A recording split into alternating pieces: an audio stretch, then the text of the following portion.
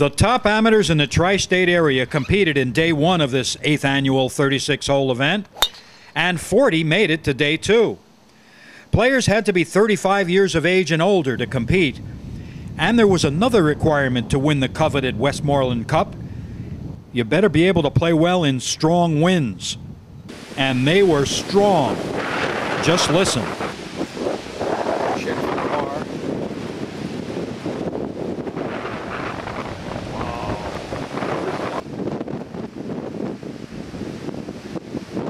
First round leader Brian Komline of Black Oak Golf Club in Long Valley, New Jersey, was the only player to break par in round one. He shot a 2 under 69 and had a three shot lead on the rest of the field. Fantastic golf course, one of the best in the state, without a doubt, top 10.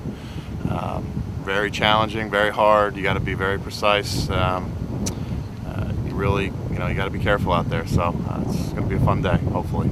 The two players three shots behind were Corey Creelan and former MGA president Alan Small, who we mistakenly thought was always near the top of the leaderboard. Uh, no, but I, I used to be more. Uh, but, but used to be. Wait a minute, what's happened? I'm 63 now. Alan may be 63 years old, but still strikes the ball very well, as does 59 year old Jay Sessa, who began the final round four shots out. Jay, do you have a chance?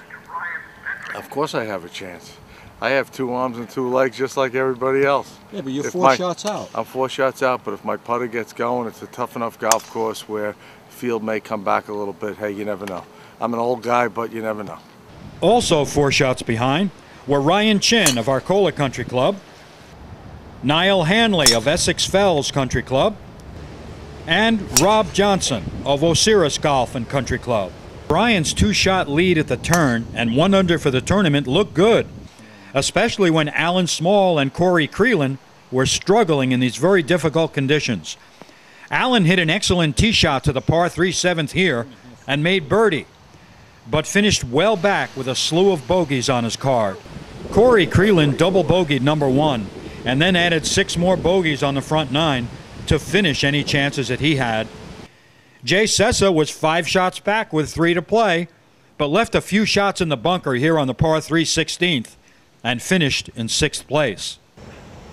Ryan Chin made five consecutive pars on the back nine, but bogeys on 15 and 16 ended his chances. Ryan finished in third place, however, alone, five over par for the tournament at a total of 147, only two shots off the winning score. To show you how difficult it was out there, only 5 of 40 players scored lower in the second round than in the first. On the closing nine, Brian Komline's two shot lead over Niall Hanley didn't last long as he double bogeyed number 11. And then when he bogeyed the 377 yard par 4 12th, he actually lost the lead as Niall ran off three straight pars on holes 10 through 12. Niall Hanley was playing three groups ahead of Brian Komline.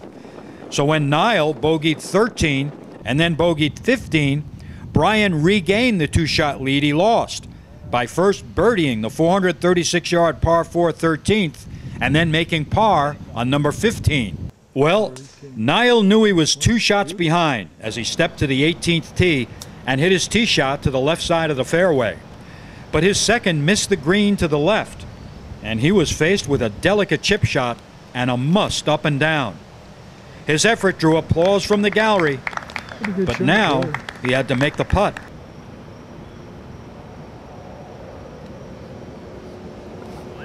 What a putt. Hell of an up and down.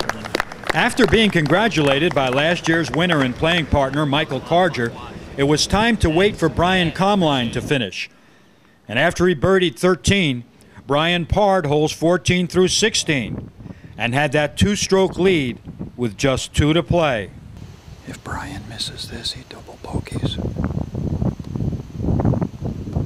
he just touches it. Oh, it just misses right. That's a seven. He's tied for the lead with one hole to play. Well, now the big shot for Brian Komline. Brian with a double bogey on 17 is now even. Ryan hits the ball quickly. Stay there, baby. If it goes down that hill, he's going to have trouble. And he's going back down the hill and off the green. Brian Komline's got to get up and down from off the green, ladies and gentlemen, to get into a playoff. Man's got to be feeling the pressure now.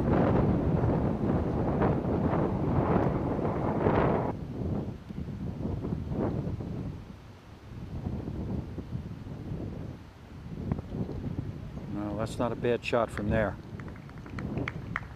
Leaves it about six feet, and he's going to have a left to right breaking, tricky little putt to get into a playoff.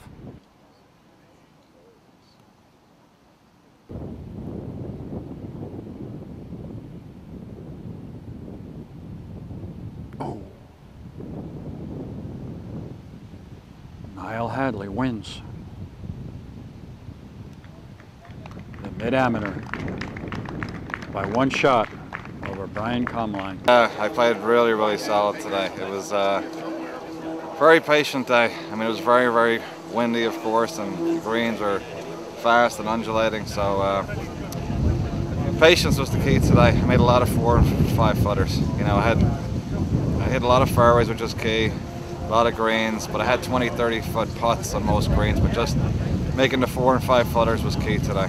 Niall won with scores of 73 and 72 for a 145 total, and that's three over par. He now joins Dennis Lynch as the only two time winner of the Westmoreland Cup. And longtime MGA tournament director Gene Westmoreland was there to recognize the winner. score. 145, Niall Henry. So long from the Mountain Ridge Country Club in West Caldwell, New Jersey.